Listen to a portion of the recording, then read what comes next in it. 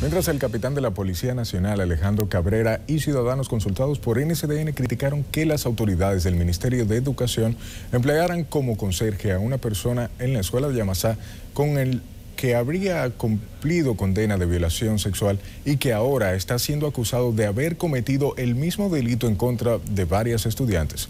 Miguel de la Rosa trabajó el tema y nos tiene los detalles.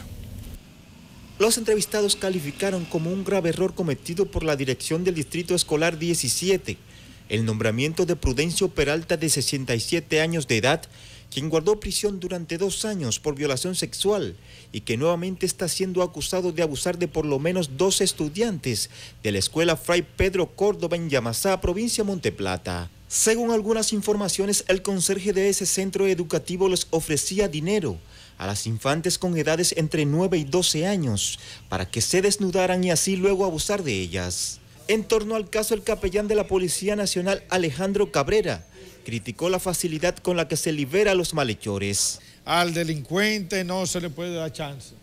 Hay que someterlo a la justicia y que cada uno pague por lo que hizo. En tanto que algunos ciudadanos consultados por NCDN no coinciden como las autoridades de educación pudieron incurrir en tan grave decisión. Con ese historial que tienen, no deberían de ponerlo, que lo pusieran en otra cosa, pero donde hay tantos niños. ¿no? Muy flojo y más un conserje que no tiene, no es por el nivel de educación, pero sabemos cómo está la sociedad hoy día. Hay personas que se merecen una oportunidad, pero en, en ese caso no lo vería bien. Estas personas demandaron de las autoridades estar vigilantes para que casos como estos no vuelvan a ocurrir. Miguel de la Rosa, NCDN.